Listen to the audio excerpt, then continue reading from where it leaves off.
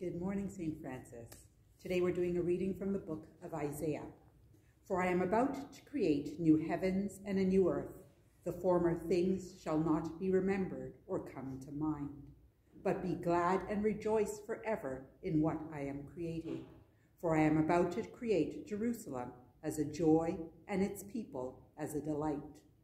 I will rejoice in Jerusalem and delight in my people no more shall the sound of weeping be heard in it, or the cry of distress.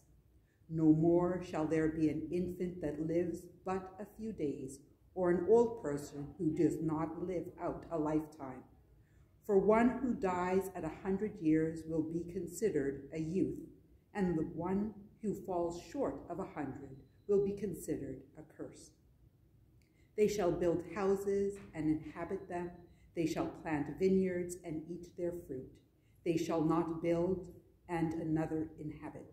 They shall not plant and another eat. For like the days of a tree shall the days of my people be, and my chosen shall long enjoy the work of their hands. They shall not labor in vain or bear children for calamity, for they shall be offspring blessed by the Lord, and their descendants as well. Before they call, I will answer. While they are yet speaking, I will hear.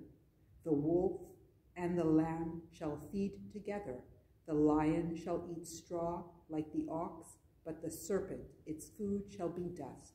They shall not hurt or destroy on all my holy mountain, says the Lord. The word of the Lord. Thanks be to God.